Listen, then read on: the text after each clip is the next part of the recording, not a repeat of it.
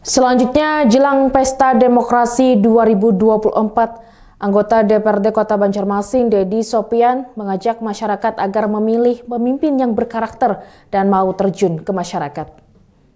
Dan yang memilih adalah yang dipimpin.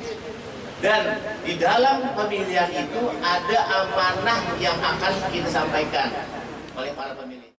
Pesta demokrasi yakni pemilihan umum yang bakal digelar pada tahun 2024 mendatang. Penting untuk terus digaungkan kepada masyarakat agar tercipta pesta demokrasi yang sehat dan berkualitas, termasuk dalam memilih pemimpin. Setidaknya hal itu disampaikan anggota DPRD Kalsel Dedi Sopian saat menjadi narasumber pada gelaran sosialisasi ideologi Pancasila di Banjarmasin belum lama tadi. Bahkan dalam kesempatan itu, Dedi mengajak masyarakat memilih calon pemimpin yang memiliki karakter dan suka turun ke masyarakat.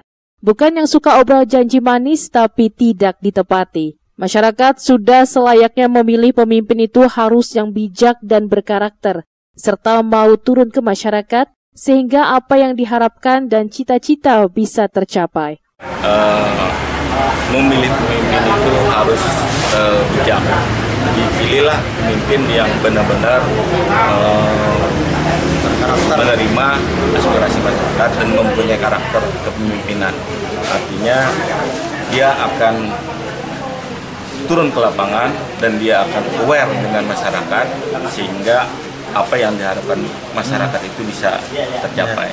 Salah satunya bagaimana nanti usulan-usulan dari masyarakat terkait perbaikan-perbaikan sarana dan prasarana ini juga nantinya harus diperjuangkan oleh pemimpin yang dipilih yang diamanatkan oleh masyarakat. Menurut Dedi, sebagai wakil rakyat harus memperjuangkan apa yang menjadi aspirasinya, Begitu juga dengan masyarakat harus memilih pemimpin yang sesuai dengan hati nurani.